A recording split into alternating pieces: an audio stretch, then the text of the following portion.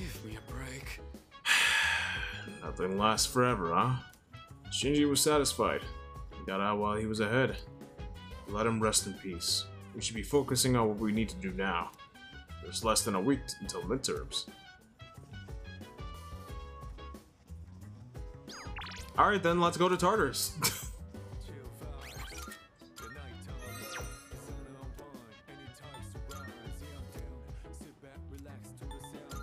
Tartarus time! Tartarus- No! the fortune lady, bro! Gosh. Why do I always forget, bro? Every time.